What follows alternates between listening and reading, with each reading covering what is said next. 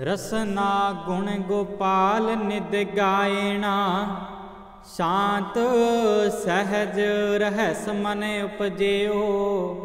ਸਗਲੇ ਦੁਖ ਪਲਾਇਣਾ।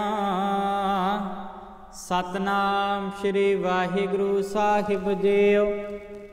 ਸੋਰਠ ਮਹੱਲਾ ਪੰਜਵਾ, ਕਰ ਇਸ਼ਨਾਨ ਸਿਮਰ ਪ੍ਰਭ ਆਪਣਾ। ਮਨ ਤਨ ਭਏ ਅਰੋਗਾ, ਕੋਟ ਬਿਗਨ ਲਾਥੇ ਪ੍ਰਭ ਸ਼ਰਣਾ, ਪ੍ਰਗਟੇ ਭਲੇ ਸੰਜੋਗਾ। ਕਰ ਇਸ਼ਨਾਨ ਸਿਮਰ ਪ੍ਰਭ ਆਪਣਾ, ਮਨ ਤਨ ਭਏ ਰੋਗਾ ਕੋਟ ਬਿਗਨ ਲਾਥੇ ਪ੍ਰਭ ਸਰਨਾ ਪ੍ਰਗਟੇ ਭਲੇ ਸੰਜੋਗਾ।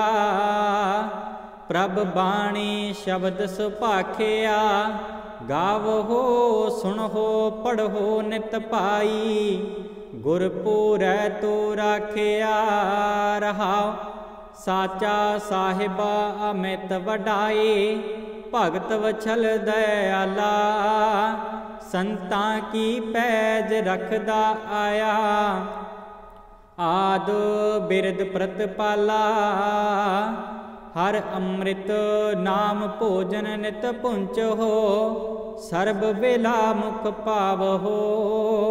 ਜਰਾ ਮਰਾ ਤਾਪ ਸਭ ਨਾਠਾ, ਗੁਣ ਗੋਬਿੰਦ ਨਿਤ ਗਾਵਹੋ। ਸੁਣੀ ਅਰਦਾਸ ਸੁਆਮੀ ਮੇਰਾ, ਸਰਬ ਕਲਾ ਬਣ ਆਈ। ਪ੍ਰਗਟ ਭਏ ਸਗਲੇ ਜਗ ਅੰਤਰਾ। ਗੁਰ ਨਾਨਕਾ ਕੀ ਵਡਿਆਈ?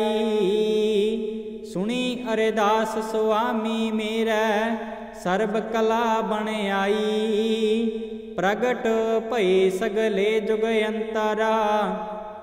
ਗੁਰ ਨਾਨਕਾ ਕੀ ਵਡਿਆਈ? ਵਾਹਿਗੁਰੂ ਜੀ ਕਾ ਖਾਲਸਾ, ਵਾਹਿਗੁਰੂ ਜੀ ਕੀ ਫਤਿਹ।